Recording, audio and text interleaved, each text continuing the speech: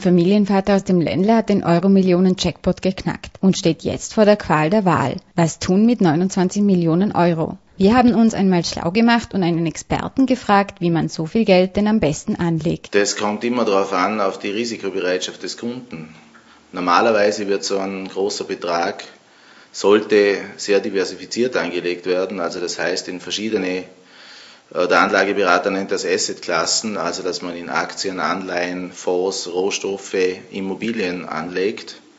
Aber sogar wenn jetzt äh, ein so ein großer Betrag von 29 Millionen äh, risikolos angelegt wird, dann äh, kann man davon 94.000 Euro im Monat an Zinsen lukrieren. Berechnet wird das ganz einfach mit dem Taschenrechner. Wenn man einen Betrag von 29 Millionen Euro mit 3,89 Prozent kästfrei anlegt, ergibt das einen Jahreszinsbetrag von über einer Million Euro. Dies wird dann durch 12 dividiert und so kommt man auf monatlich rund 94.000 Euro Zinsen, die verbraucht werden können, ohne dass das Kapital angegriffen wird. Die sind auch einkommensteuerfrei, also da muss nicht mehr ans Finanzamt abgeführt werden.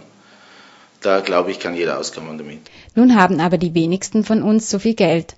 Ab welchem Betrag rentiert es sich denn Geld anzulegen? Äh, das rentiert sich eigentlich schon ab relativ kleinen Beträgen. Wir bieten zum Beispiel ein professionelles Vermögensmanagement ab 15.000 Euro an, wo jeder Kunde, der 15.000 Euro hat, ihn wirklich weltweit veranlagen kann und auch dieses Vermögen einfach streuen kann und damit das Risiko minimieren. Bernd Brodinger selber hat bisher noch keinen Lottogewinner als Kunden. Aber sehr wohl Kunden, die Millionen haben, die aber wirklich die meisten dafür arbeiten mussten oder das äh, aus dem Familienvermögen gehabt haben.